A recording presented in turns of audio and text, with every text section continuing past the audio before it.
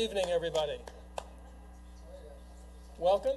Um, this is the second uh, in the series of uh, sustainability lectures, and I wanted to welcome you all here tonight. I've um, got a number of announcements to make uh, prior to introducing our speakers. Um, the Sunnyvale Sustainability Commission um, is um, organizing this series of, of um, uh, city-sponsored events. And I'm Steve Zornitzer. I'm a member of the Sustainability Commission. Myself and Crystal Wickham, who's over there, um, are helping to organize this series. I'd like to acknowledge a number of people first, um, as before we get into the, the events of the evening. I'd like to thank the Sunnyvale City Council, uh, first and foremost, for their forward thinking, um, their vision in positioning our city to take a responsible and proactive approach in, to environmental sustainability. I think this is very important, not only for Sunnyvale, but for California, for the nation, and for the world. I'd like to thank this, the staff of the uh, city's Environmental Services Division, who've done a really great job in helping to organize these events. And in particular, I'd like to thank uh, Nupur Hiremath, uh, the city's sustainability coordinator. Where is Nupur? Right there uh, and Elaine Marshall, both of whom really did the bulk of the planning and promotion for tonight's event. So thank you both very much.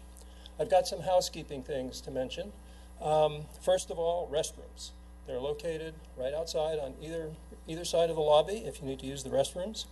All food and drink uh, really is prohibited in this uh, council chamber. So if you've brought food or drink in, please take it back out.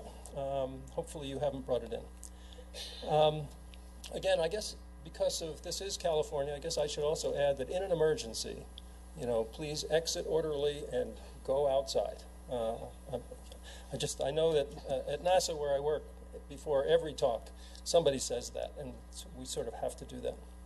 Um, this event is being live broadcast on KSUN TV and uh, it's being recorded and will be available in the archives for other people to uh, take advantage of uh, what we're going to hear tonight uh, in the future. So, um, and your questions at the end, uh, after our speakers talk, will also be recorded. So we're going to give you a microphone. please wait for someone to come and hand you a microphone before you ask your question. I want to add that there's a um, clipboard on the back table on the left-hand side there as you exit, um, that if you would like an EV test drive in the future, you can, you can sign up for that. And Acterra, uh, their EV ambassador program, will coordinate with you and arrange for you to have a test drive in an EV vehicle. So I think that's pretty cool. So one last item uh, before I introduce our speakers. Who here wants to save money? Show of hands? Great. Pay attention to this. I'm, really excited to announce that uh, Sunnyvale residents now have the opportunity to participate in a new home energy saving program. In partnership with Acterra, who I just mentioned a moment ago on the EV um, ambassador program, they're also doing a, a, program, sponsoring a program in conjunction with the city of Sunnyvale called Green at Home Program. It's a free program. It includes an online analysis of your PG&E smart meter data and provides you with a diagnosis of how your home is using energy. The program will email to you specific recommendations about your home, its energy use, and how you might save energy over time. And they'll send these reports to you on a bi-monthly basis. And if um, there's a need uh, and a desire on your part to have a consultant come out to your home. Tara will arrange that with you um, and give you a very specific hands-on uh, kind of energy audit for your house. This is a great way to save energy and to figure out and identify where you can be more efficient in your energy use at home. What's there to lose? It's a good idea. So I encourage you to sign up for that. Um, now, where uh, is uh, Patty Sexton? There she is. Patty's going to hand out a, um, uh, a clipboard. If you would, are interested in this program and would like more information from Acterra, sign up for this. I guess uh, provide your email, um, and Acterra will be in touch with you directly. There's also a, um, uh, an email site, a website, a, uh, an email address, Sunnyvale Green at Home, all one word, Sunnyvale Green at Home at acterra.org. So I encourage you to think about that. Okay. I want to introduce now our first speaker. We have two speakers, but one speaker is going to be here just for a couple of minutes, Don Bray. You've probably, if you've been to these um, lectures before, you've, you've heard Don talk before. Don is the manager of the account services at Silicon Valley Clean Energy, SVCE. And Don's going to remind us of what SVCE is all about and how it's benefiting Sunnyvale and the entire South Bay Peninsula. Um, and we'll provide a perfect lead in for our, major, our main speaker for this evening. So, Don, I'd like to have you come up for a few minutes.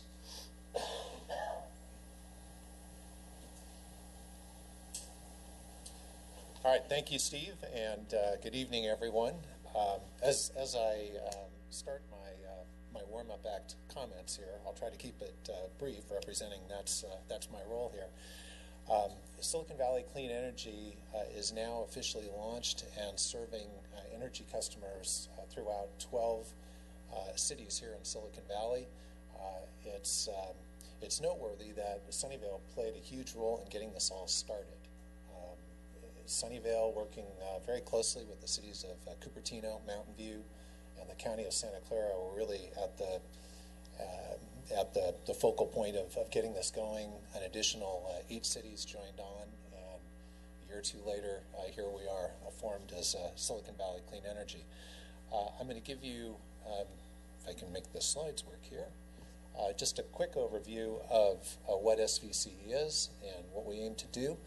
we source clean electricity, it's 100% carbon-free electricity, uh, on behalf of uh, commercial and residential uh, electricity customers here in the valley.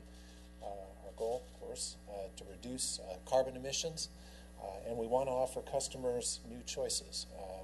and moving beyond that, we want to help advance electrification and decarbonization more broadly and beyond the use of electricity. How does it work? Uh, well, in a, in a, traditional utility environment, a um, investor-owned utility such as PG&E uh, sources electricity onto the grid and then gets that electricity to your business uh, or to your residence. So uh, they do um, uh, sourcing, transmission, and distribution. In a community choice energy model, that uh, sourcing portion is, is assumed by a new agency, our case, a community choice energy agency. Uh, so that's the role that SVCE plays. We buy electricity onto the grid, and that's how we uh, are able to bring you 100% uh, carbon-free electricity, as that's our role.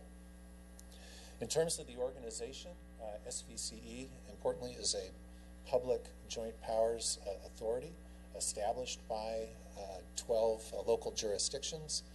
I mentioned the, the four initiating members, Sunnyvale Mountain View, Cupertino, and the, the county, then subsequently joined by Los Altos, Los Altos Hills, uh, Los Gatos, Saratoga, Monte Sereno, um, Campbell, um, Morgan Hill, and Gilroy. And I don't know if anyone was counting, but uh, I think that's all 12.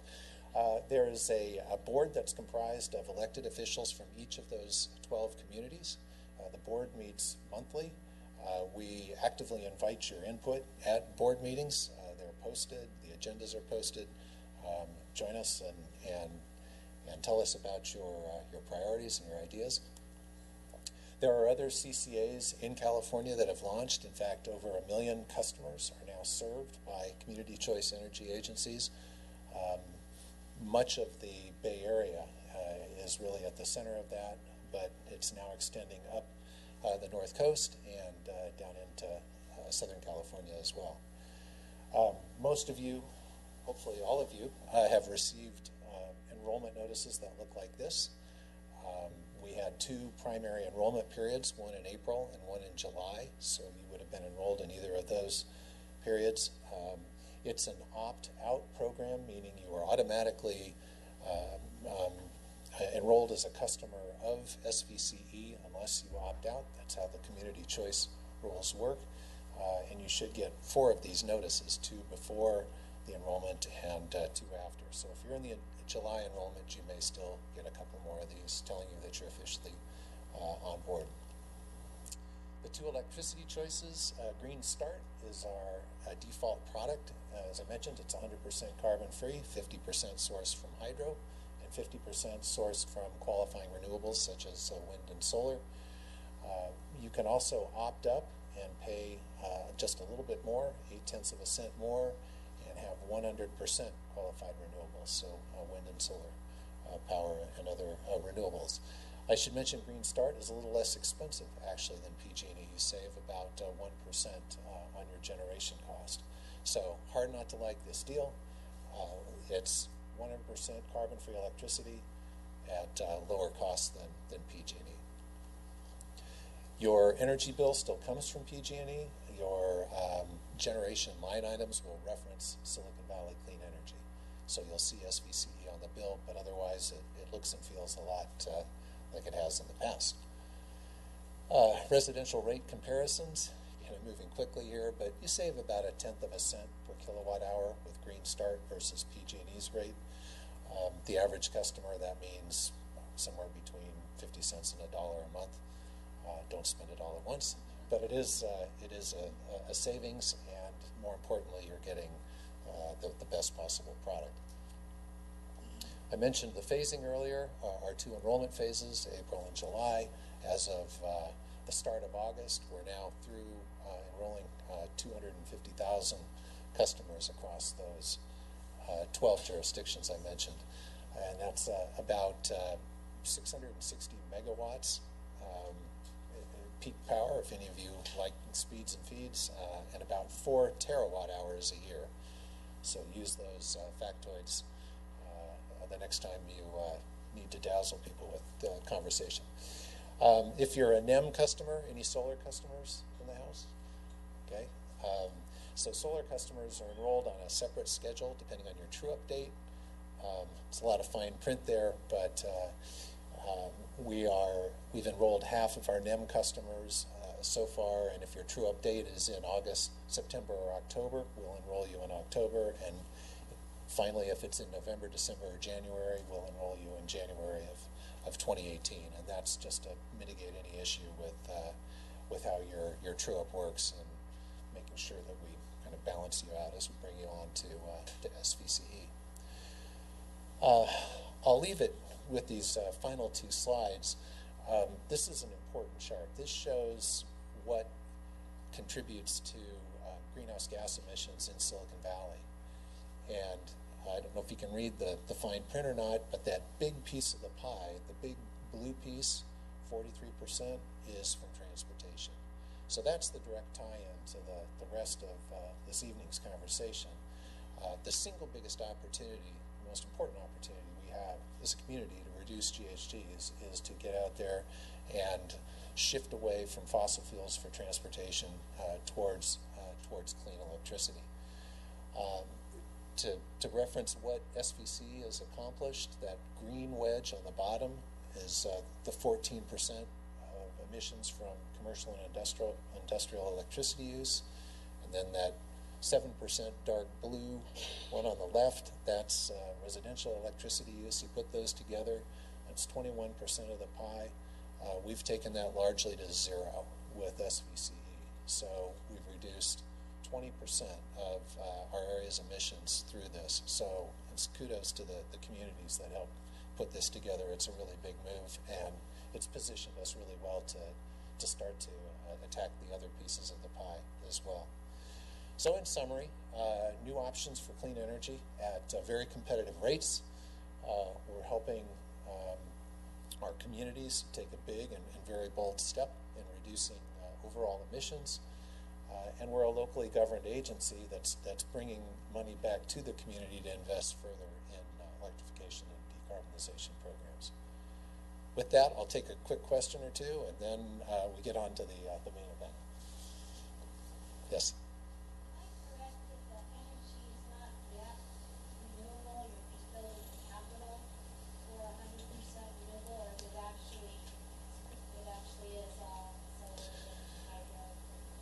So we are procuring, um, you know, which, which we now have to do because we've got that, that piece of the responsibility.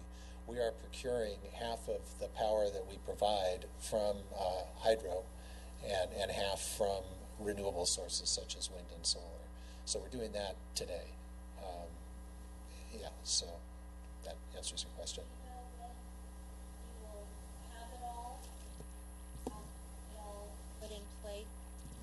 Do you know when you'll have it all in place financially so that we are receiving the hundred percent renewable energy? So you, you can you can buy that today if you want. You can buy that with the Green Prime product. You'll pay a little bit more for it. In terms of, of how the, the product composition might change over time, will will our Green Start product, the product that uh, that most people buy, become more and more renewable? I assume it will. Um, that's a decision that the board will make the next uh, year or two, exactly what that, that roadmap looks like. But right now, it's at 50% renewable. That's better than PG&E. That's, uh, that's what it, it's mandated to be in the state of California in 2030. So we're way ahead of schedule. Um, Oh, oh, so it is Start act, product. so if you're on the Green Start program, you are actually really getting renewable energy. It's not And- just yeah, building the capital yes, for and, it. and it's carbon free Okay, today. thank know, you. So you're you're doing great. Yeah. Okay, how about over here? I don't want to. I don't want to. Uh, One last question. yes. okay, right here.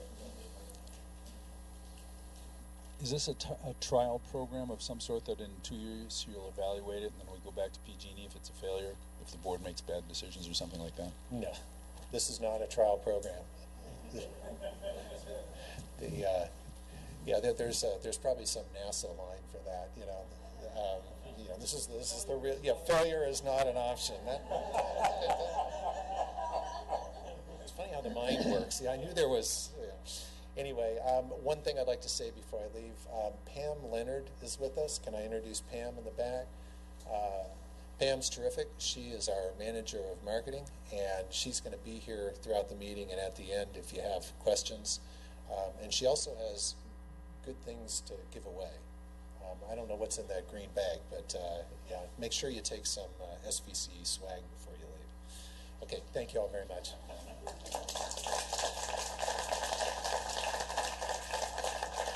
Good job. Okay, one more plug that I forgot to mention. Um, this is the second in a series of three sustainable, sustainable uh, conversations that we're having this year that the Sustainability Commission is sponsoring. The third event will be on August 30th, uh, back in this venue again. The uh, speaker will be um, Babe B. Johnson. She is a uh, renowned author, a TED speaker. Um, she's going to be talking about the zero waste lifestyle. And her talk is timely uh, at the end of this month because in September, Sunnyvale is going to be rolling out the food cycle program in which um, the, the city is going to be providing residents with new bins, garbage and trash bins, to collect food scraps at the curbside. And I think it's an, this is all part of a zero waste effort for the city. So I think you'll find this talk very informative and uh, germane to what we're going to be dealing with starting in September. So, without further ado, I would uh, like to introduce our speaker. It's my great pleasure to introduce Don Diridon. Um, you know, as um, Close. uh, Don, I was thinking of Don Bray, Rod Diridon. Um, uh, Don Bray just mentioned something that I think is very important because uh, Sunnyvale's new carbon-free electricity future um, provides us with an opportunity for rethinking how the transportation sector is powered. And um, there are lots of benefits for electrification of our transportation system benefits for our health, benefits for our environment, benefits for our wallets, benefits for our busy schedules to try to reduce the congestion that we're de- dealing with every day on the, the highways and the streets uh, in, in the valley. Our distinguished speaker this evening is Rod Diridon, Sr. Got it right. who will discuss how our daily commutes and traffic woes can be transformed by new transportation alternatives, including the electrification of Caltrain, the California High Speed Rail, and electric cars and buses. Let me share with you some highlights from um, Rod's very distinguished career. Mr. Diridon is the Emeritus Executive Director of the Mineta Transportation Institute and formerly its Executive Director from 1993 to 2014. The Mineta Transportation Institute is a transportation poli- policy research center created by Congress in 1991. Mr. Diridon is known as the father of modern service, transportation service in Silicon Valley, and has chaired more than 100 international, national, state, and local programs related to transit and the environment. Mr. Diridon was appointed in 2001 and then again in 2005 by Governors Davis and then Schwarzenegger to the California High Speed Rail Authority Board, of which he is chair emeritus. He helped found and is chair emeritus of the American Public Transportation Association's High Speed Intercity Rail Committee and National High Speed Rail Corridors Coalition. He served as the president of the National Council of University Transportation Centers and is the elected chair of the U.S. High Speed Rail Association's board. In 1996, he founded and chaired the Transportation Research Board study panel entitled Combating Global Warming through Sustainable Transportation Policy. He advised the Federal Transit Administration and in 1995 chaired the National Research Council's Transportation Research Board's Transit Oversight and Projection Selection Committee. He provided keynotes, especially for high speed rail and sustainability, in more than 50 U.S. cities and for a dozen international conferences and has published numerous related articles. He's driven electric cars since 1996, so he's, he, he, he talks his walk, and he walks his talk.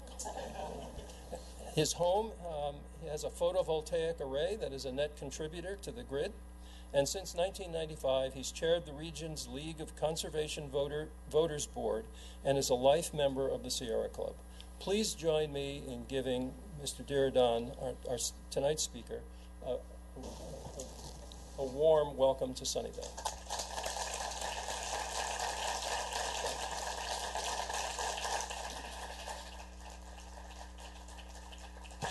I think this mic works, so uh, I won't get near this mic or we'll get some feedback. Uh, and um, Mr. Chairman, thank you very much for that nice introduction. Don, you did a great job. Uh, did he leave? Uh, okay, tell him he did a great job. And um, uh, that's the future uh, electric energy. How many of you believe that climate change is real and being created by humankind? Please raise your hand. Well, you know, I speak to, um, I speak frequently, and uh, there are some groups where less than half of the hands go up. Still, in California, in Silicon Valley, uh, there's one fellow back on the East Coast now whose hand would not go up and that's a tragedy. How, how many of you have children or grandchildren? Well, me too. And I fear for their future. And that's why I'm here. I'm bumping up against 80 years old. I'm retired and have a wonderful wife and I ought to be home with her. But I'm not. And I'm here with you because of those grandchildren. Uh,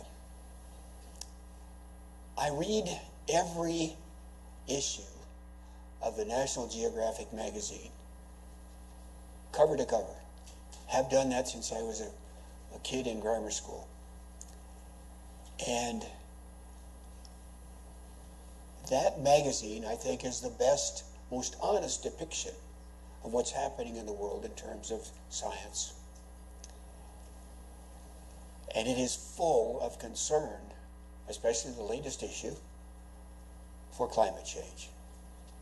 The descriptions of what will happen if we don't turn this around quickly. And by that I mean 10, 20 years from now, it may be too late. What will happen is ugly. It isn't just getting uncomfortably warm like it was today. It's uninhabitably warm. Oh, the cockroaches are going to love it. Oh, they love the heat and, so on. They'll thrive with the heat.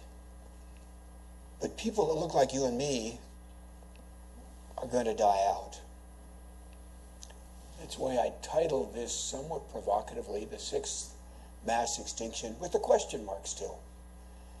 Well, while that question mark is up there, you and I have to do all we can possibly do to make sure that the predictions of our science do not come true. Now, what I'd like to do is run through, and by the way, I lost a vocal cord in an operation a few years ago, so I have to croak at you like the Godfather. And I apologize. I am Italian. Uh, don't, don't let me kiss you.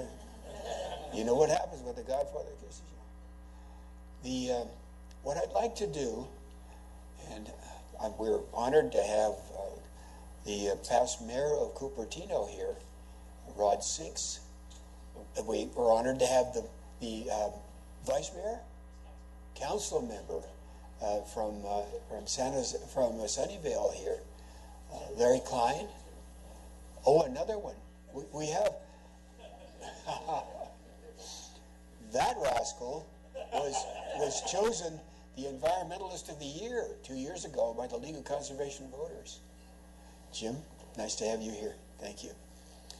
So you have you have a good pedigree here in Sunnyvale. Let me let me describe when you, when you give a speech, you tell them what you're going to tell them. You tell them, and then you tell them what you told them. And what I'd like to go through with you now is a description of the climate change is occurring, what's causing it, and what can be done to fix it. And I'm going to do that in a, just a few minutes. Then we're going to look at examples of what you can do to fix it. And then we're going to talk about some local examples. And then we're going to let you tell me where I'm wrong or reinforce what I've said as you choose. So let's let's get into this.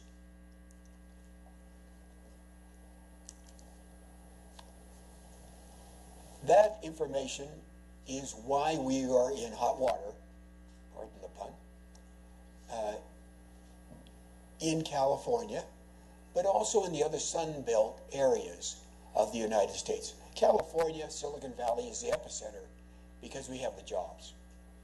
We're, we're high tech. People are coming here from around the world to work at our high tech opportunities. And so we're growing faster than anywhere else in the state, and the state is growing faster than anywhere else in the nation. But what that comes down to is, from the State Department of Finance, they've always underestimated growth. So this is probably a minimum. 25 million more people here by shortly after mid-century. That's like dropping the state of New York into California. Unfortunately, we don't have to take the New Yorkers, but it's still a lot of people. And we would not recognize our state as the place that we love if we do it the same way we've done it in the past. If we do it with urban sprawl, putting more people on highways, you and I will want to leave, as will our children. I get to talk. Okay, so we're growing rapidly. Now, that graph was above the fold on the right hand side of the front page of the New York Times newspaper. I think the New York Times is probably one of the last truly peer reviewed newspapers that comes out each day maybe the Washington Post is another. Uh, and I read it every morning. You ought to do that too. It has good information in it. What that says is that you see where the little red arrow is up there on the right hand side? That's where the CO2 load in the atmosphere is right now. And it's measured in uh, uh, parts per million uh, concentrations in the atmosphere. Now, this study is agreed to by four different countries. Those four countries can't agree on the time of day. They hate each other, but they agree on this data China, the US, and so on. And what it says is that at that time, three years ago, no, in 2013, five years ago now, we were twice as high in terms of CO2 in the atmosphere as ever in the last 800,000 years.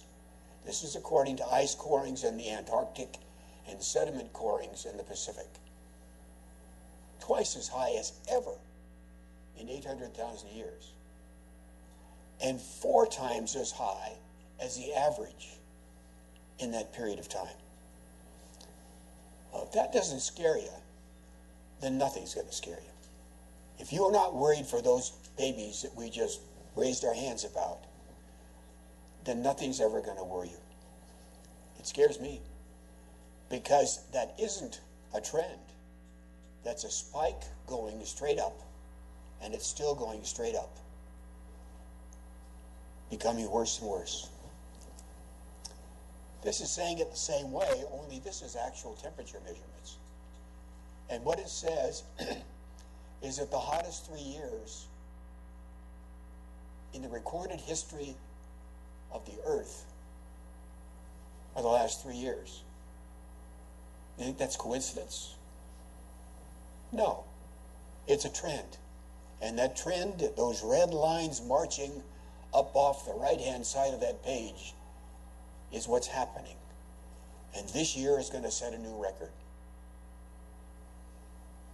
It just validates the CO2 load data on the prior page. Okay, we know that climate change is occurring. We know that it's uh, caused by CO2. We know CO2 is out of control, and it's causing heat to be out of control as a measurement around the world. Well, what's causing it? This is a study by a group of Nobel laureates at Stanford. It was led by Stanford, actually. They're from all over the. Maybe, uh, maybe NASA was involved in that too. And it says that 38% of that CO2 is coming from transportation nationwide. But in California, it's nearer 50% because of our addiction to the automobile. Now, industry is 20%. It's a tiny fraction. It's 50, 50% of, of, of what we can control in transportation. And we can't do much about industry. Energy, compliments to the uh, uh, local choice energy. Uh, we're doing something about that, and so on. But the real culprit that we can do something about is transportation. Well, we know it's out of control. We know it's caused by transportation. What's causing it? What kind of transportation? This is done by Dr. Anthony Perl. Uh, Anthony Perl is one of the fine researchers in the world on the subject, and uh, he indicates, uh, and it's been confirmed by the National Research Council, that cars are the culprit. Automobiles, petroleum powered automobiles, are the culprit. You can see that they create just under 200 parts, grams, uh, of CO2 per seat mile. That's the measure of, of efficiency, uh, climate change efficiency of, of, a transportation device. So a five passenger uh, vehicle uh, would have five seat miles, and this is the kind of pollution you get on that car. Now, air travel is just as bad if you take only short hop airlines. And that's what we're focusing on with high speed rail, by the way. Short hop airlines are as bad on a seat mile basis as an automobile. When you put them all together, then they're, they're a little bit better. But air travel is very much a culprit. Buses, diesel powered buses are terrible. That's why you see Valley Transportation Authority testing electrically powered buses now and hybrid buses and moving away from the old diesel powered buses. LR, now, then you get to the remedies. Steel wheel on rail is the least friction in, in inhibited transportation device. And when you have that steel wheel on rail run by electricity, then you have light rail, high speed rail, metro rail like BART, commuter rail like Caltrain will be when it's electrified. That's the solution. That's, that's where we're going to fix it.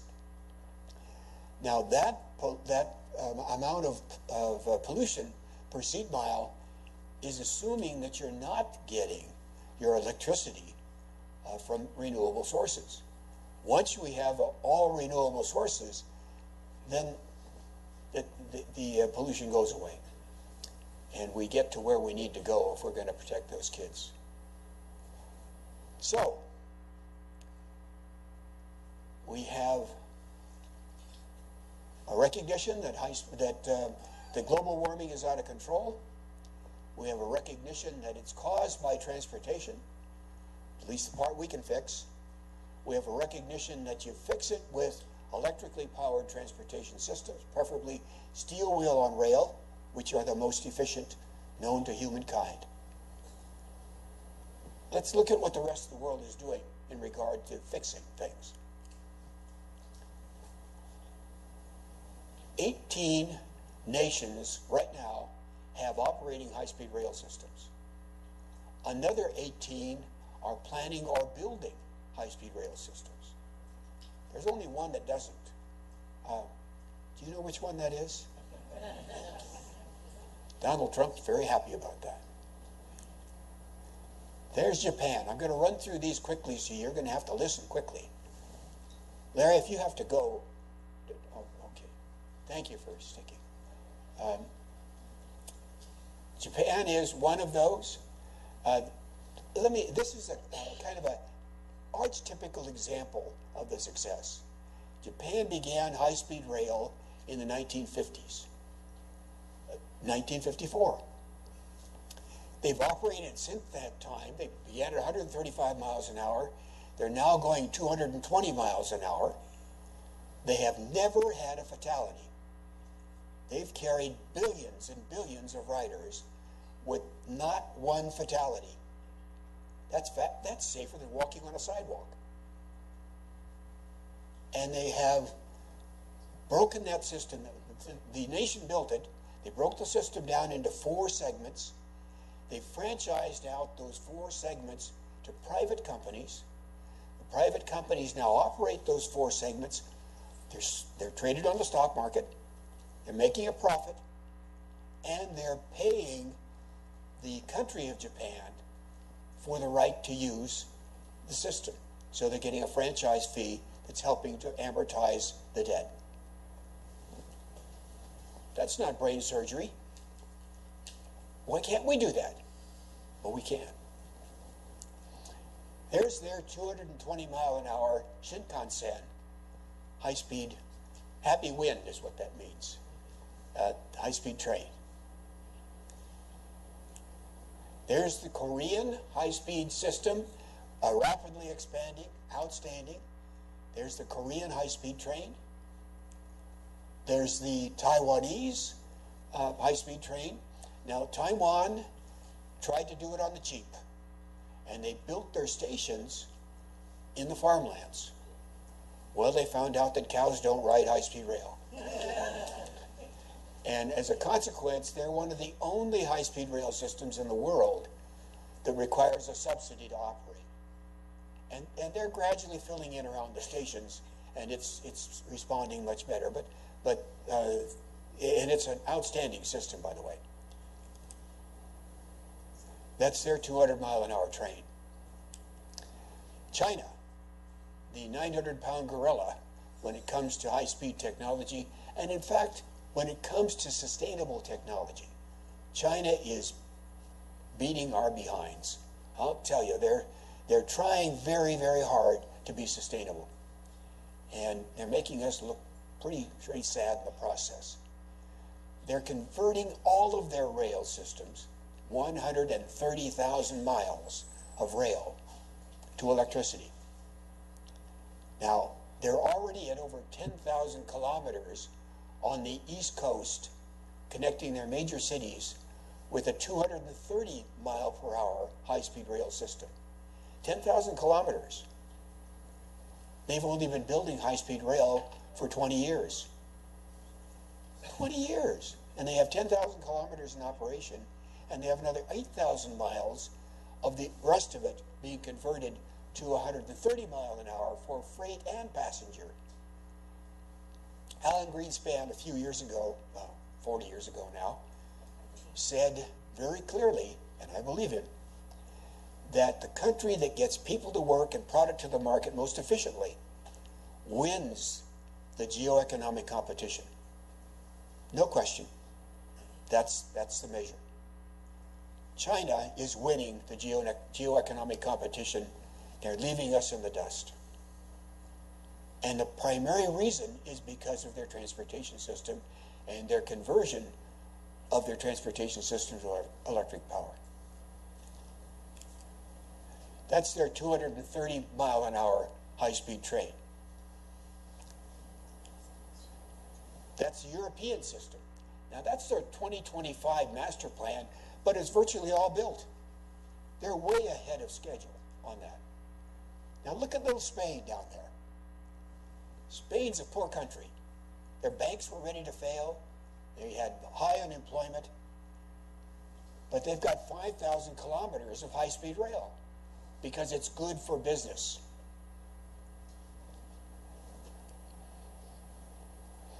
There's the French advanced high speed train, 200 mile an hour. There's the German high speed train. Lower right hand corner is the 200 mile an hour. I'm Italian. That's the Italian high speed train. I got to ride the first train uh, with President Berlusconi from uh, uh, Rome to Milan about five years ago when they, uh about uh, 10 years ago now, time passes. And let me tell you, you've heard about his bunga bunga parties. Well, there were some, a lot of young women on that train for some reason. but we got there, and we got there fast, and it was fun. And I got to ride through some of the tunnels in the cab. And they franchised it out like the Japanese are, and the chair of the board of the franchising company is the president of Ferrari. And guess what he did when he when he bought it, when he took over the company, the franchise? He painted them red. They go faster red. There's the Spanish train, the lower right hand corner is the 200 mile an hour train. That's Turkey's train. I'm not doing something right here. Well, let's go back one. That's the Russian high speed train. Why is it that Russia can have a high speed train and the U.S. can't have a high speed train? They're way behind us technologically. This is this isn't just ridiculous. It makes me mad. We've got we, we're way ahead of them in terms of the ability to do technology. But Russia's going to have a high speed train before the United States has. Hooray for Putin. Well, there's the U.S. map. The only problem is that there's nothing built. The blue lines are the 130 mile an hour, 120, 130 mile an hour uh, uh, system, and it's it's uh, designed for both freight and passenger. The green lines, the northeast corridor, and the uh, Texas uh, Triangle, the Texas T-bone, the Florida uh, system, the Kansas City to Chicago, and the California Green Line system are the ones that are supposed to be 200 mile an hour systems. The problem is that none of them are built. The Acela corridor between Washington and Boston is there. It averages 81 miles an hour. It gets up to 150 miles an hour for 30 miles. And uh, they have the desire to, to do it, but they don't have the funding. And they don't have the cooperation of this administration by any means. Okay, there's the California system. Now, the blue line, the solid blue line, is all under construction. About $6 billion worth of contracts have been signed to build that up to and including the rail. The next portion will be the dotted blue line from the north end of the solid blue line through a little place called Chowchilla, which will be the Y, W-Y-E, where the train will diverge to the west, go under the Pacheco Pass in tunnels. Uh, one of the tunnels will be about 15, 16 miles long, and come out at Gilroy, and at Gilroy turn north along the Monterey Highway, the Union Pacific right-of-way, through San Jose, whatever that station is called, and and then and then on up to San Francisco. Now the right-of-way between San Jose and San Francisco is there. They're going to use the Caltrain right-of-way, the Caltrain tracks, and the Caltrain electrification, which the High Speed Rail Authority is paying part of the cost of, the groundbreaking of which occurred two weeks ago. So it's going to be prepared, ready to go, and all they need is electrically powered trains to be on those tracks. Now that portion from uh, Bakersfield to San Francisco is supposed to be in full operation by late 2025. That's eight years from now, little less than eight years from now. I don't think they're going to make it, but they're not going to miss it by much. 2026 maybe. And they're working very hard to make it happen. And our wonderful uh, governor, who I'm so proud of for all he's doing in terms of the environment, uh, is going to make sure that it happens quickly because he wants to ride it. And he and, he and I are within a month of being the same age. And he, in a speech recently, he said that he was eating his uh, green vegetables, lifting his weights, because he wanted to be there to honk the horn on the first high-speed train. Well, I'm, I'm with him. We're going to be together doing that. So, there's the system. Now, let's look at it from a different perspective.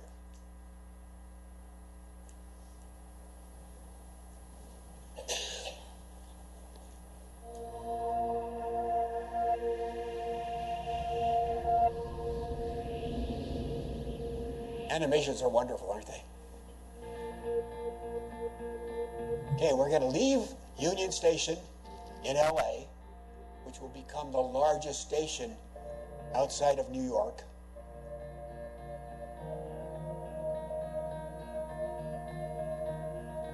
The um, that's that's the station in Anaheim, which is already built, by the way. Go up through LA, Burbank, heading north, Palmdale, the high desert, down from the high desert through Bakersfield, up through the Central Valley. Riding a high-speed train is very comfortable, by the way. You can walk around, there's no feeling of motion. Up through the Central Valley, flat, straight.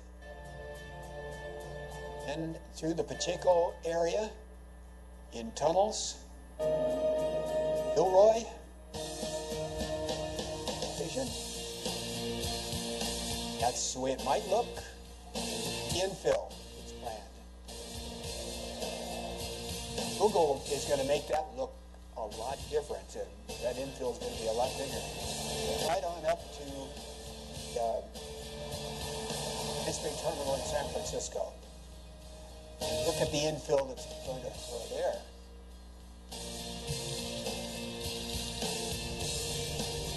In the southern portion from San Diego, uh, uh, yeah, San Diego out of the uh, Lindbergh Field up uh, through the Inland Empire, Riverside, Ontario, the airport, and into downtown LA.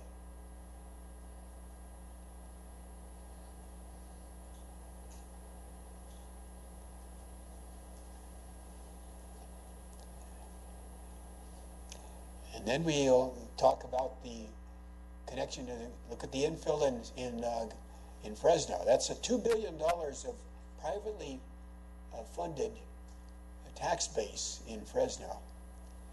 Up through the uh, flat Central Valley, looping around, and into the old Southern Pacific Railroad yards, uh, which are going to become a grand station in our state capital. That's what it's going to look like and it's being built now. And the funding for the portion from Bakersfield to San Francisco is funded. Thanks to the approval of the cap and trade funds, which was reaffirmed by the legislature two, two weeks ago, that's fully funded from Bakersfield to San Francisco. They're going to have to work on the portion from Bakersfield south to LA, which is a complicated construction project because a lot of it's going to be in tunnel. Now let's let's uh, go from that micro look, macro look to look at what you can do on a micro fashion to make it work like a system. Remember, high-speed rail by itself is useless. In fact, it's it's a detriment because it'll overload your downtowns unless you make it into a system. So let's look at the system. This is our valley. This is our our Bay Area, our region.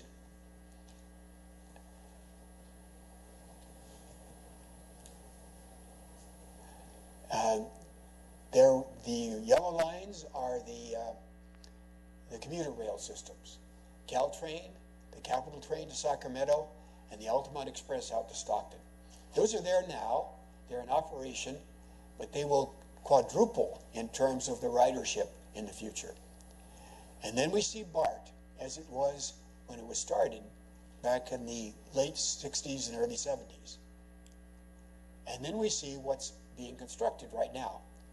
That's being built. That's funded and being built to through San Jose and up to Santa Clara in a maintenance facility in the area that used to be called FM's Food Machinery Corporation.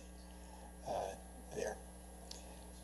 That um, the portion from Berryessa through downtown San Jose isn't quite funded, so they're still going to have to fight for a couple of hundred about almost a billion dollars, uh, which is about a third of the funding for that.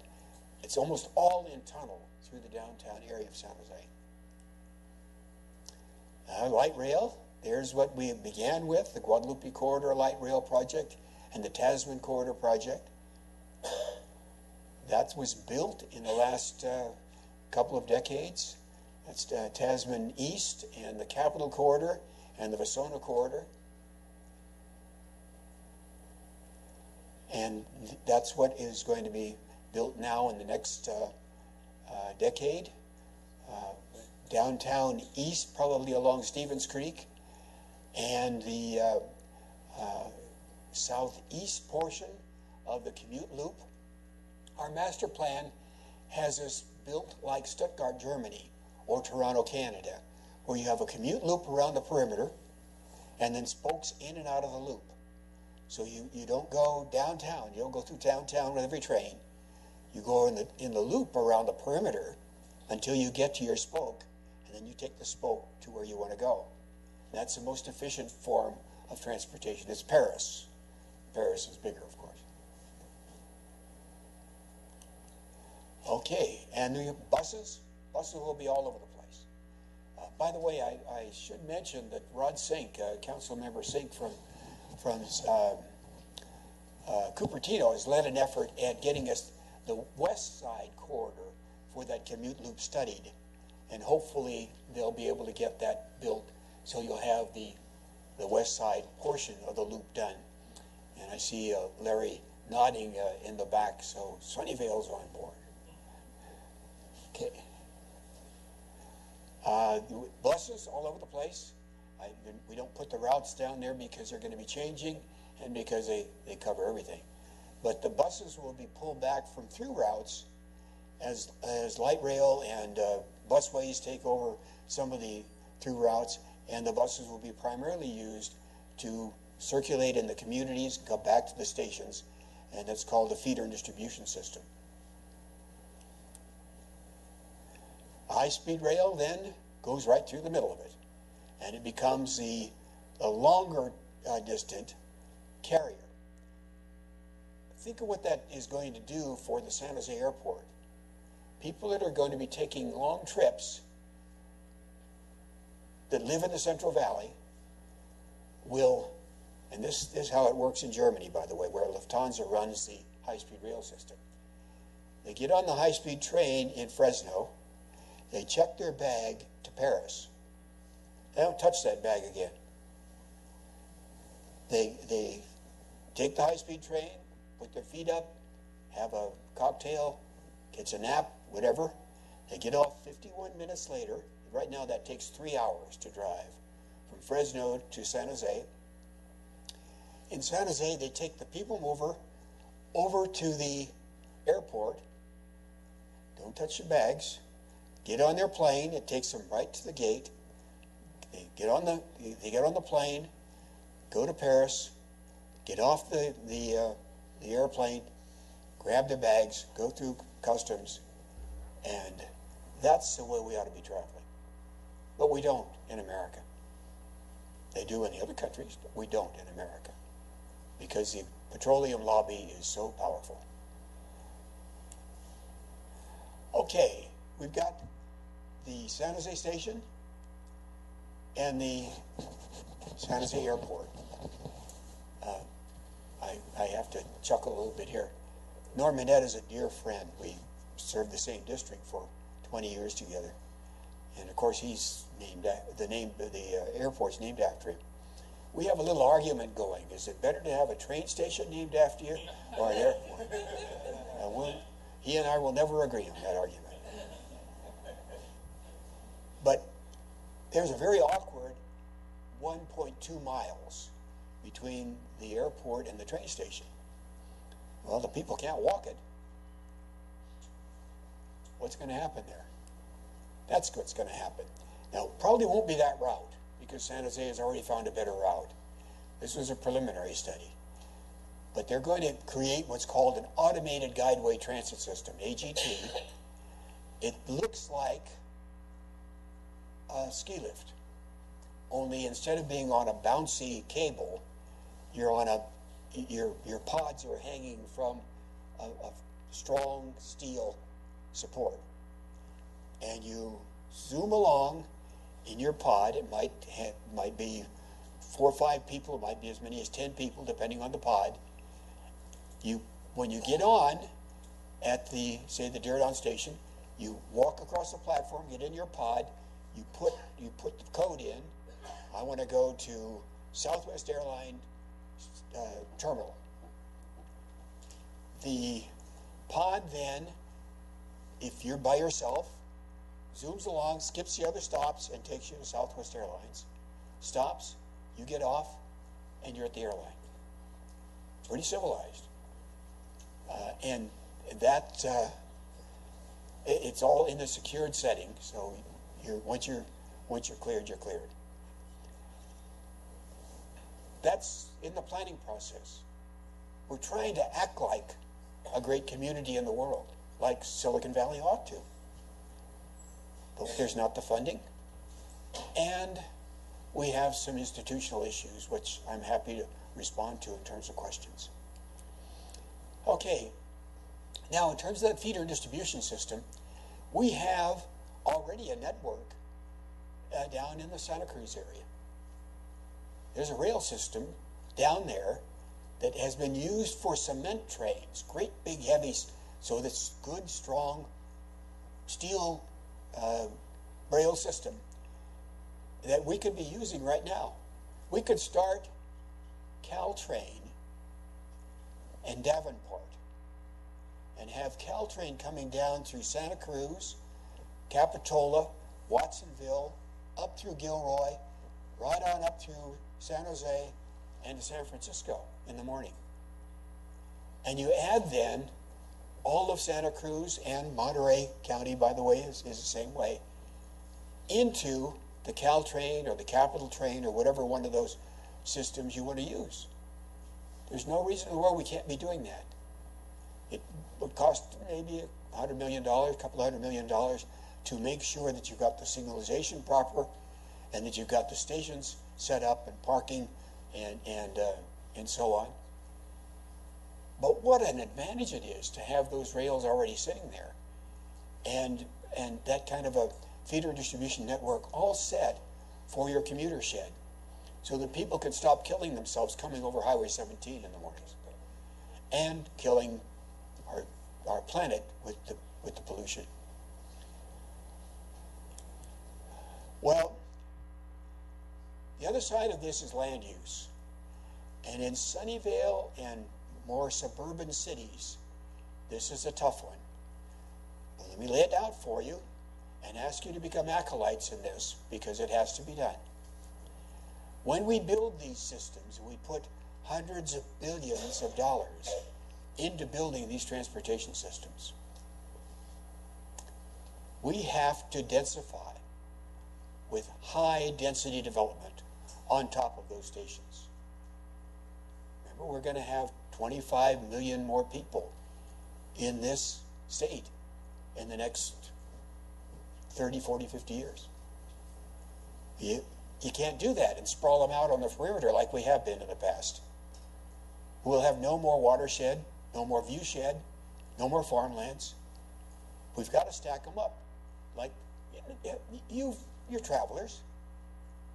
When you travel through France, France, by the way, is about the same land area as California, but they have over twice the amount of population that we have. Yet when you travel through France, you're looking out at green most of the time. You come to a, a community and it's it, it's it's higher rise community, and then you're back out in the farmlands. That's because they don't let you build in the farmlands. If you want to build in France, you either build on something that's already built, or you build on top of a train station and the parking. In France, they call it transit villages. We're beginning to call it that here now. And the way, the idea to do, way to do it here, because we're starting from scratch, so to speak, is to put a podium over the top of the parking, the rail line, and the open space adjacent, the station, and a, a big cement podium all of the dirty stuff is under the podium. Parking, your cars, uh, and stuff like that under the podium. The rail line and the station are under the podium. On top of the podium is grass. Uh, and out of that grass, then, are juxtaposed. See, they're not right next to each other, but separated so everybody has sight lines. High rise condominiums, rental, and some commercial development. By doing that, and doing it only over the top of the, of the, of the stations, we can accommodate that growth. And we can accommodate with some more affordable housing, aided housing, because developers can, can provide you the aided housing if they have enough density. But the way we build now, we never give them enough density to be able to provide subsidized housing. And we make the neighborhoods angry because we wind up pushing it out into the neighborhoods. If we only do it on top of our rail stations and on top of our parking, and you do it in high, high density, high, high uh, altitude, many, many stories, and keep it only over those stations, then we don't cause inconvenience for the neighborhoods we don't want the, the density in the neighborhood. That just puts more cars on the roadway system. We want those people force fed into mass transportation. And you do that by building it on top of your train stations. If we do that, we already have 62 train stations in Santa Clara County. Light rail, commuter rail, and BART stations now in Santa Clara County. 62 of them. About two thirds of them have big parking lots and are conducive to this kind of development. We're trying to persuade VTA now to go ahead with Transit Village uh, bids for the air rights for developers to build transit villages above those stations and the parking. The problem we're having is that the general population doesn't understand that we're just talking about building on top of the, the stations, not general density. Let me, let me tell you something about our roads. They are never going to become uncongested. The roads in Silicon Valley are going to be only more and more congested because we're growing so rapidly in terms of jobs and people that they are just going to become more and more congested. Our only way of protecting our job base and maintaining a livable community is to do this kind of development. Force feeding people into the mass transportation system, avoiding putting more people into our highways, and making sure that that transit system is sustainable and electrically powered. Uh, let me get off my soapbox.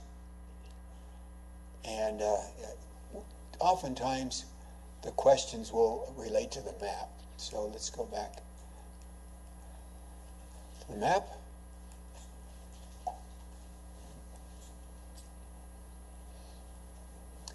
And now I would love to answer your questions. We've got about 20 minutes. And uh, so think of good questions. Stop.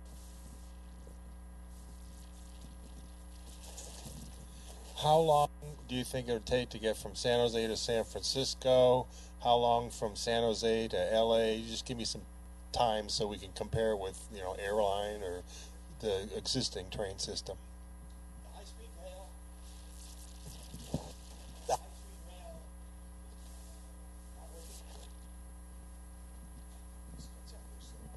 I'll shift over. I won't.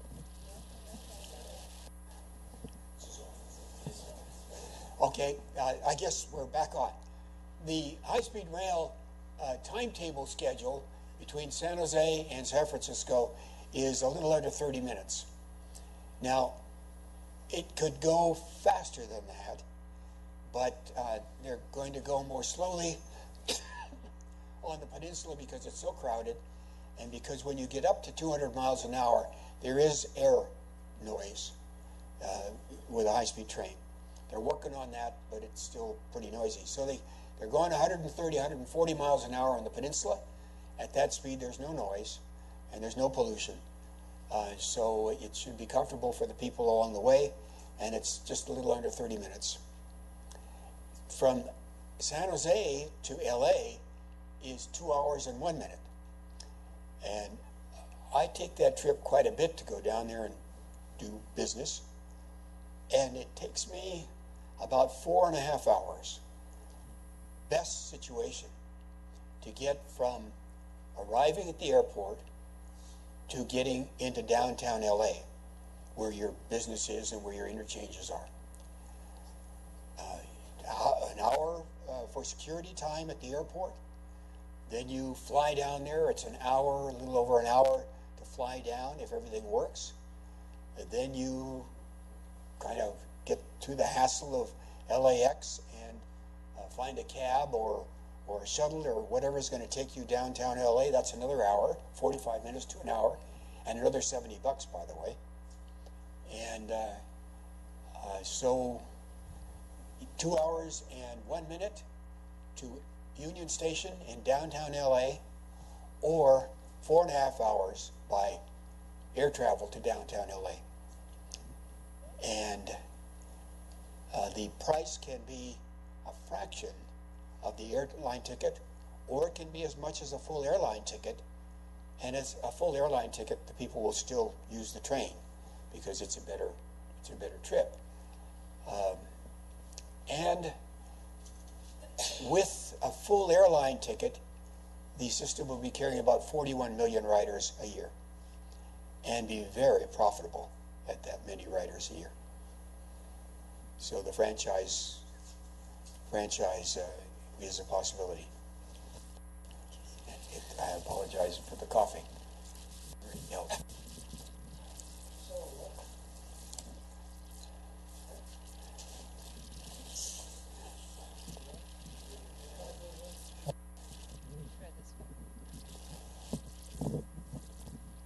That would work. That sounds better. So uh, none of these systems were designed for a world of self-driving cars, and yet none of them are going to be finished before we effectively have a good chunk of our cars out there self-driving. How does it all fit together? Uh, let me ask you to be cautious about self-driving cars. Not because they won't work; they absolutely will work. Uh, there's going to be an integration period, though. We've studied them uh, at the Mineta Institute. It's going to be brutal. Until everybody's driving a self-driving car, the self-driving car process won't work as efficiently as we want it to work, and it won't be as safe. You get these kids with a lot of testosterone and a great big pickup with the big wheels and the gun rack in the back and so on. And they're zooming in and out, and your self driving car is trying to uh, do what's safe, and, and it gets pretty confused. And so it's, it, there's going to be an adjustment period. Now, I, I really think that eventually self driving, we're going to lose the ability to be so called independent and driving independently. And we're all going to be driving self driving cars. At the same time, we're not going to be driving them very fast because our roadway systems will always be overcrowded, even with self driving cars. We just have too many people. Now, I don't want to say that because I want my babies to have jobs in Silicon Valley. So good for Apple and good for Google and so on as they as they create more and more jobs. But as you say that, you have to realize that jobs are going to be there, people are going to come to the jobs. And as that happens, our roads will be overcrowded because we can't seriously expand our roadway system. We're out to the sound walls you know, with most of our roads. So we're not going to get much more capacity from our roads. So even if we're driving self-driving cars, and the best projections are that they're not going to be, we're not going to have the whole thing done in the next seven or eight years when high-speed rail is done. But even if we, we have a self-driving car system, it's still going to be overloaded. And so don't put all your all your uh, uh, bets in that pocket. Uh, it's it's one fix. It's one element of the fix, but it isn't the total fix. Yes, ma'am.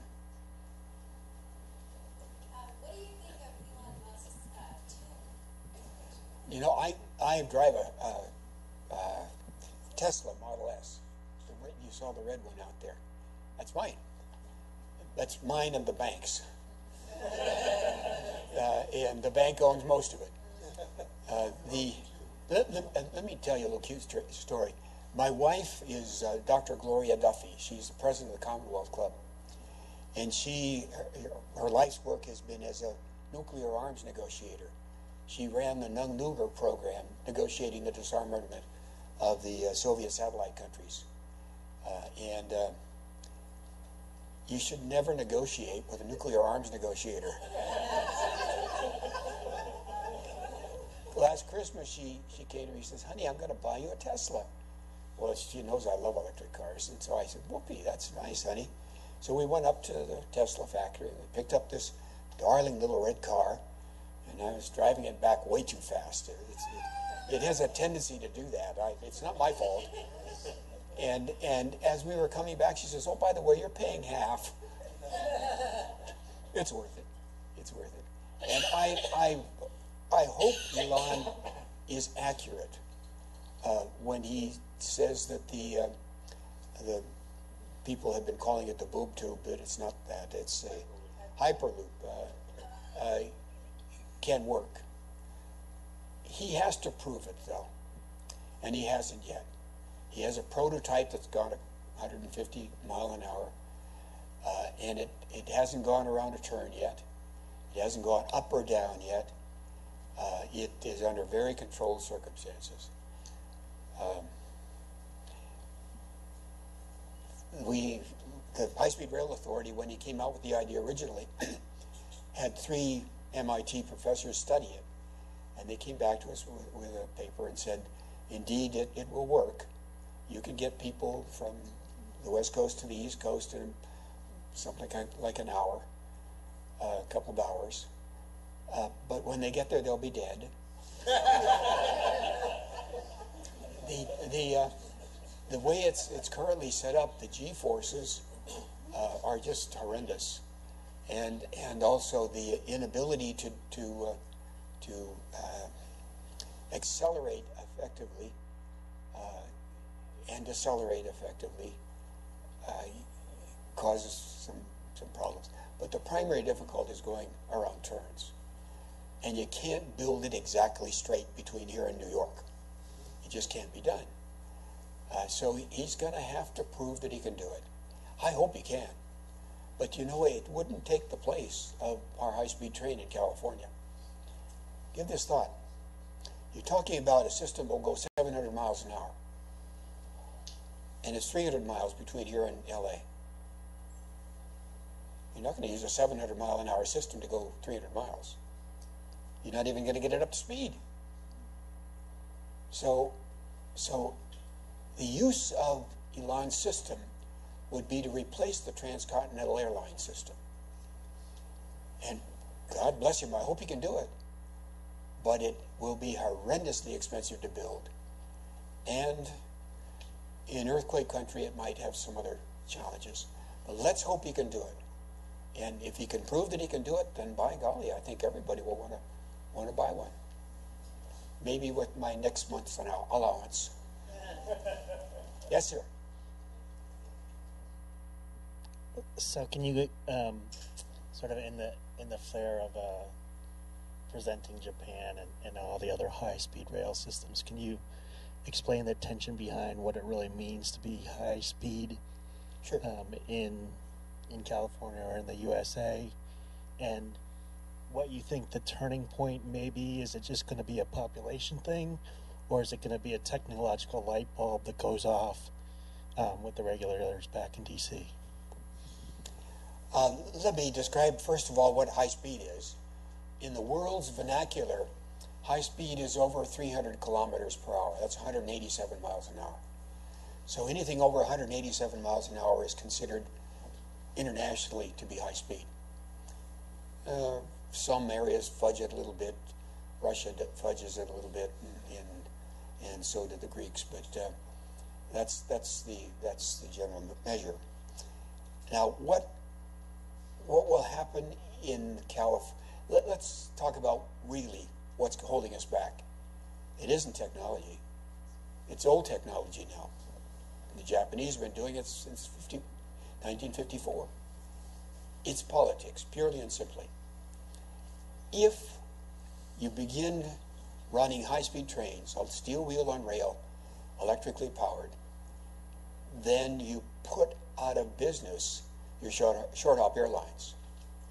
Short hop airlines are run by petroleum. Not a little bit, but vast, vast quantities of petroleum. And so you have the petroleum industry fighting high speed rail in America, tooth and nail, which is fine, which, which is the reason why you have one party, political party, that is primarily funded by, by the petroleum interests, much more opposed than any other political party. And I'm not going to use names, but uh, I, I think you can reason through that. And that's, that's, those are the facts of life. And it's, it is irrefutable. Uh, I think what's going to happen is that people are going to recognize when California's system goes into operation that is so obviously the better choice, especially now that climate change has become such a serious issue. That if California does it, then you're going to see Texas do it. you're going to see probably the next one probably will be Florida, and then Texas, then the Northeast corridor, which is nibbling away at it, and and then the Chicago corridor, and and then the dam will break and, and you'll see more and more and more of them. But it, it really the, the the blockage is not at all technological. It's financial. It costs a lot of money, but not nearly as much money as building more freeways. High-speed rail costs less than building freeways. Uh, and it, of course, doesn't pollute, and it carries a lot more people. Yes, sir. Yes, um, I'm concerned about um, the grade separation issue.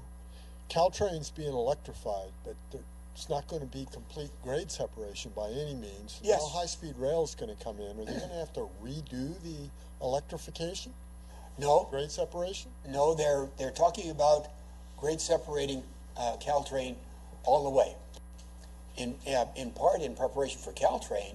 Caltrain, by the way, is going to be going 100 miles an hour in the future. So they're they're going to have to be grade separated eventually, and and the high-speed train is going to have to be grade separated, and and uh, so the intent is to eventually grade separate Caltrain everywhere.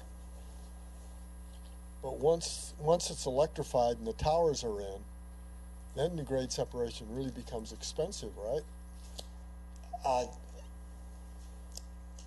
if you have to change the towers, but you technically really don't have to. Grade separations, uh, when you grade separate Caltrain, you're not going to change the train system. You're going to dip under the train system by the roadway system. So, so the grade separations are going to be the crossroads coming under the the train system because you can't run a train step system up and down, especially if you're going 130 miles an hour. Uh, your, your tummies can't handle that. So so the grade separation will be the, the highways going under, and that isn't going to disrupt your electrical. Right here.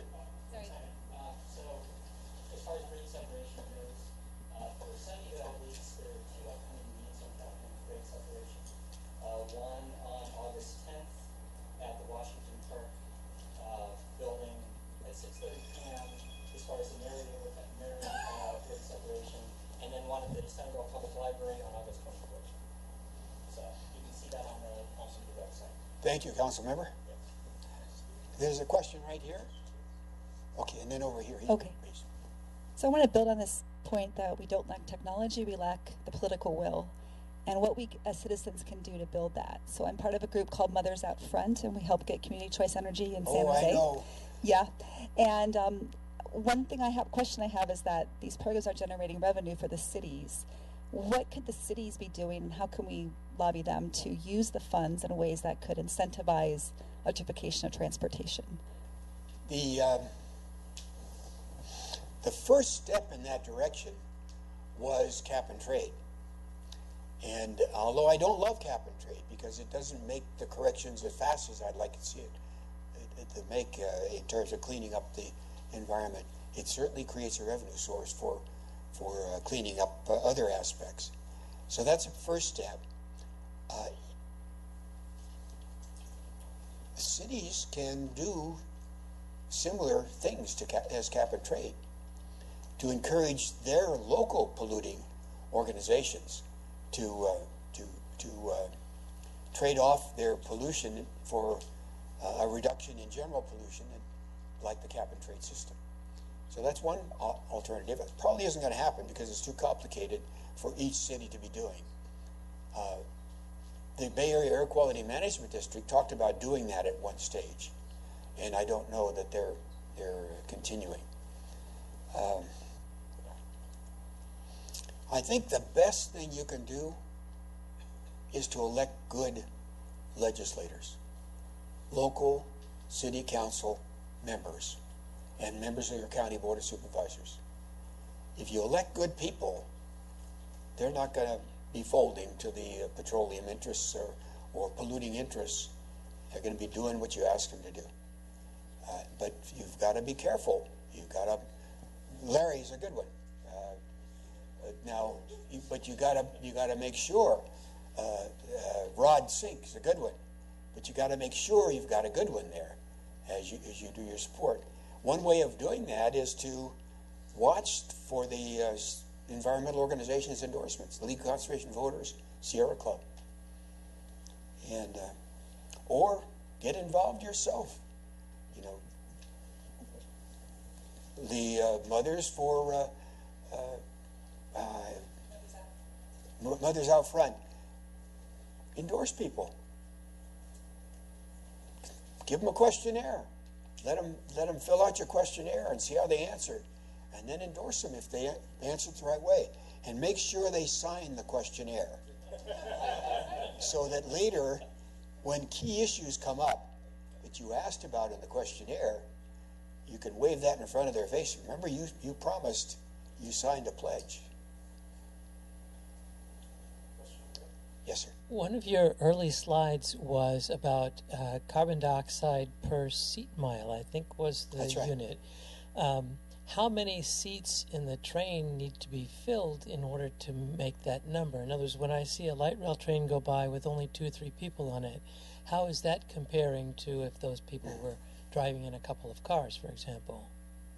Well, that um, that depends on your trains to be full. And in other countries, your your trains are full. Now, the reason why light rail is not filled in this county is because we've only got half a system. You saw the the map up there when I did the click to. We don't have anything down the west side. Yet the west side is where the highest transit ridership is. And we don't have we don't have anything in the west side. Second thing we haven't done with our light rail system is we haven't put anything near it. We haven't put the housing on top of those stations like other countries around the world have. You know, if you're in Toronto and you go up in a big building, you look across Toronto, it's a flat community. It's a one story community, except where the train stations are. And then it looks like mushrooms on top of those train stations. You can see where the train stations are. But the general Toronto community is one story. That's what we would envision in Santa Clara County. A one story uh, county with mushrooms on top of our what will ultimately be 150 or so train stations. If you do that, then your trains are going to run full. If we don't, they're never going to work. And we shouldn't be spending billions of dollars on mass transportation. So remember, it's two things transit and land use. Thanks for the question. Yes, sir. The, uh, the. Do, do we have? Oh, we have the mic here, actually. Oh, I'm sorry. I'll, I'll come right to you. Wave it at me when you have the mic. Great, thank you. Uh, I've been following the high speed rail project for a long time, and I, I've got a, a couple of questions for you. Uh, uh, number one is why does it uh, appear to duplicate the existing rail infrastructure in the LA area and the San Francisco area? It seems to duplicate what we're doing with BART and Caltrain up here and what LA is doing with Metrolink. And why do we punch a hole through Pacheco Pass instead of using the existing rail right of way through Altamont? Oh, I can answer those questions, and there are some logical answers. First of all, it isn't duplicating; it's using those right of ways. Uh, it uh, you're not running redundant trains; you're you're running on those right of ways, and therefore not having to build other right of ways, especially in the Caltrain area. Now, the the uh, Altamont versus Pacheco issue has been one that's it, it's been a hot one all the way through the process. It's been studied three times now, and each one of those has concluded that the better route for ridership, by far, and the least destructive route in terms of environmental, is to have a tunnel under Pacheco Pass and to include that whole commuter shed uh, in the south part of Santa Clara County, San Mateo, or, or Monterey and Santa Cruz counties. Now, it isn't hard to figure this out when you when you just use a little logic. A high-speed train system isn't going to be paid for in terms of the ridership revenue by people, by the little grandmama taking her grandbabies to Disneyland. When you first think about it, that's that's what you think about. Oh, I can take the kids to Disneyland. Well, that's going to be a very rare trip. The trip that's going to pay for the high-speed rail system is the commuter coming in from Fresno every morning. We have about 60 to 70,000 of those every morning. Right now, coming in on Highway 152 and 580, driving three hours a direction, burning $4, $3 a gallon gasoline on very dangerous roadway systems. Virtually all of those people are going to shift to the high-speed train and their tickets are going to be subsidized by industry. We've already know from the Silicon Valley Leadership Group that most of their members are ready to subsidize the tickets. So it becomes a win-win-win-win. So if you realize that the market is a Silicon Valley employee coming out of the Central Valley and that the major concentration of homes in the Central Valley is Merced, Modesto Merced, down to south of Fresno. And you want to get them to Silicon Valley, then you don't want to take them up through Stockton and down the Altamont train system. That's a big fishhook, way going way up around. Besides that, the route through the uh, Altamont Pass is a son of a gun. It isn't. It isn't an easy one where we can go a, a big tunnel through what is good consolidated earth under the Pacheco. It is hashed up. It has several earthquake faults, and the cities along the way don't want it. They don't want you putting something through their communities because you can't stop. Remember, it's high-speed rail. If you stop at every little town, it's not high-speed rail anymore. And so Livermore, Pleasanton, so on, are, are going to have the train going through their town, but they're going to have no service. And so there was an outcry in opposition to high-speed rail from those communities, and it wasn't the direct route into Silicon Valley. In fact, the idea was to bypass Silicon Valley, to go across the New Dumbarton Bridge and go directly into San Francisco. So that, that made, didn't make any sense. So the Pacheco Pass route was chosen on three different independent studies done by three different engineering firms. And that is what's been confirmed. And that's where it's going to be. Did I answer your question? Thank you.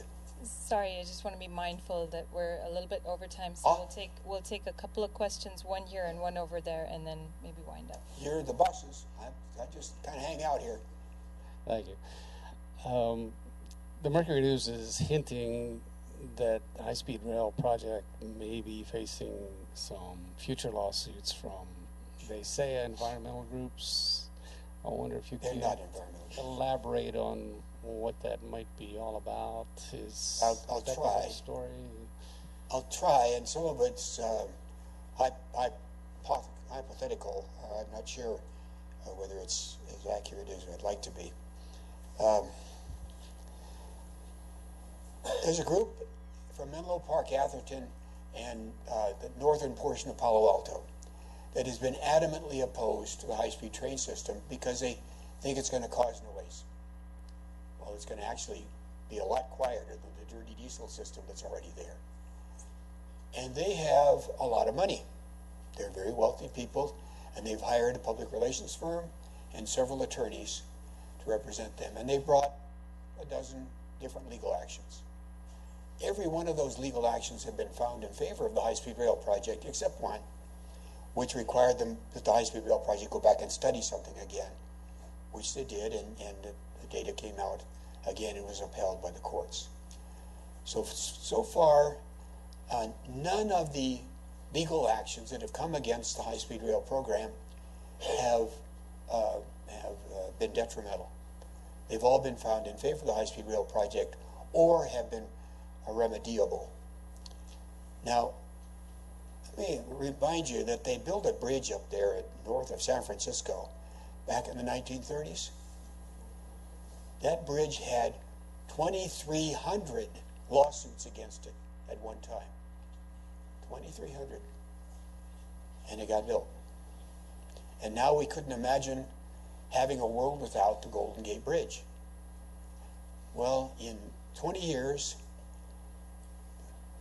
we're not going to be able to imagine a state of California without the high-speed rail system.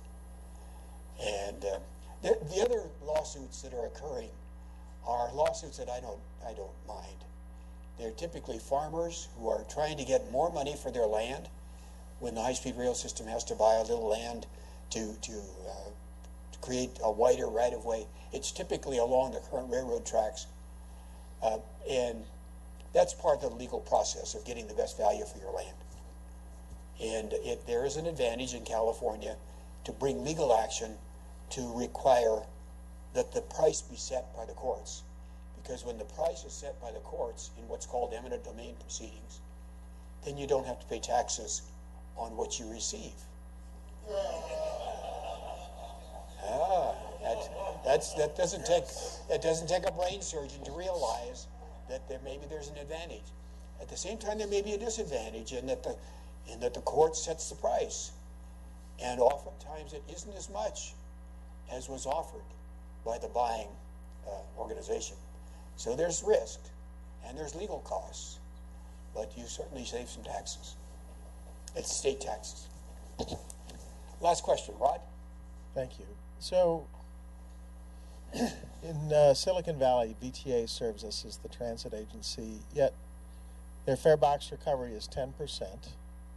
We have 27 transit agencies in the Bay Area. It seems that places like Portland and Seattle, right, which are comparable in, in, in some ways, dominated by single story landscapes, as you were talking about in Toronto, have gotten the job done better, and they're furiously building new light rail lines. Is our problem governance here? Is it that 27 transit agencies in the Bay Area just needs to be consolidated down, and we we need to do more thoughtful, maybe, uh, and more less political planning? Or, I mean, I've met a lot of good folks that all seem to be wanting to do things, but it seems like sometimes our decisions are siloed between agencies. Caltrain has a hard time you know, getting funding. And then you look at a place like Portland that all does this centrally. They've got 40% fare box recovery and three times the ridership per capita of VTA. So politically, how would we better organize or think through um, governance and or how we're doing the funding for this, for public transportation? Rod, you're, you're, you're closer to it than any of us right now, being a member of the VTA board. And what I, I'm not actually. yeah. well, we, you were at one time. And, and you're currently chairing the uh, West Valley Corridor Study Group. And good luck to you on that. That's an important study. The answer to your question is twofold.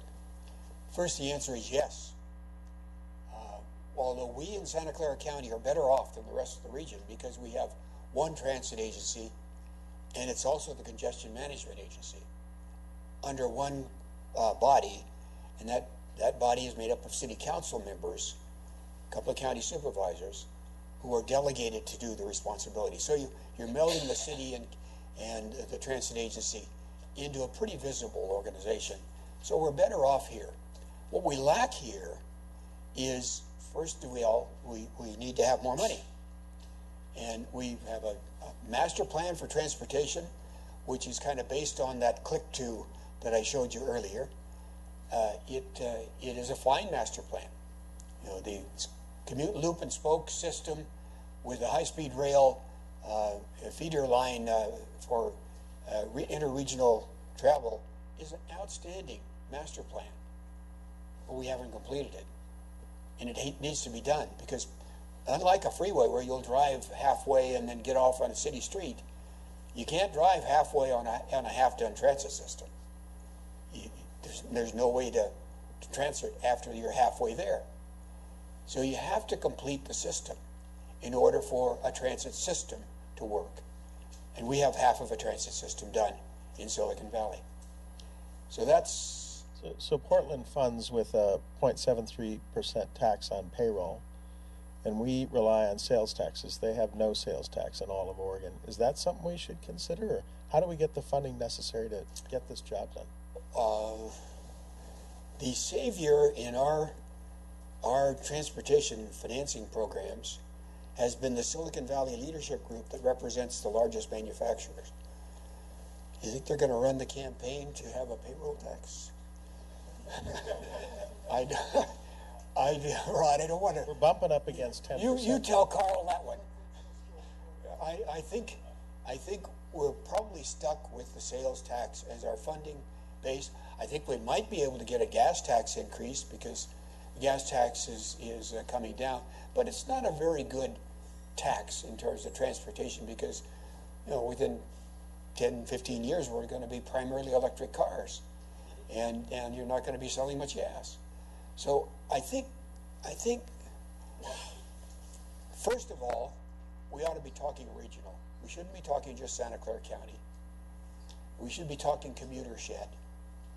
So we should look at the whole Bay Area, at least the central part of the Bay Area, up through uh, Contra Costa, Alameda County, San Francisco, and so on, which feeds into Silicon Valley now. You got to, you're not going to convince San Francisco of that for a while, but that should be one transit agency. One transit agency with high, high visibility, with directly elected board members. And then we need to break through the NIMBY issue. Uh, the thing that's killing us in terms of feeding people into our transit system is being able to densify on top of and around those stations. And right now, as Rod knows, because he's been beaten up, and Larry knows because you've been beaten up when you've tried to do the right thing, the neighbors around those stations go nuts. They don't understand what's happening. They're afraid of density, and we don't explain it to them very well. And so we've got to figure out a way to educate the NIMBYs so they understand that it, it, by densifying on top of a train station, you're not densifying in the neighborhoods. You put your density on top of the train stations, and people are more likely to ride the trains. And that's the message we've got to get out. That's that that's it's over the top of the parking lots. Well, you need some parking. The the uh, so that's that's the issue. Let me let me close now because if I don't, I'm going to get the hook. Um, we've talked about those babies. We've been told by the scientists that we've got maybe 10, 15 years before it's too late. Obviously, too late in terms of climate change. 20 years from now, we're going to have one or two scenarios that have occurred. We've been strong enough to turn this huge ship around, get off of petroleum, get off of other carbon pollution, become electrically powered as a, as a civilization, and avoided the climate change cataclysm. Or the petroleum industry has lobbied until they have sold their last drop of fuel and last lump of coal, and we went beyond the point of no return, and the world is in chaos with civil wars, fighting over the last drops of water as we run out of food. One of those two, or derivations of one of those two, is going to be happening within 15 to 20 years. That's going to happen. When that happens, your dear, precious grandchild or child is going to come to you, and they're either going to be happy if we've avoided the cataclysm and they're reading about it in their history classes, or they're going to be dying because we didn't avoid the cataclysm. and they're going to look you in the eye and they're going to say, Papa, Mama, did you do all you could possibly do when there was still time? How will you answer them? ハハハ